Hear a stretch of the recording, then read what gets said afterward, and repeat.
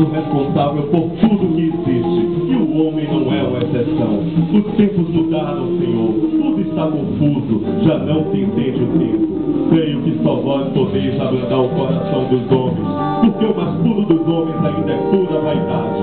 Fala-se em peste, e rumores de guerra, o mundo tornou-se abafado.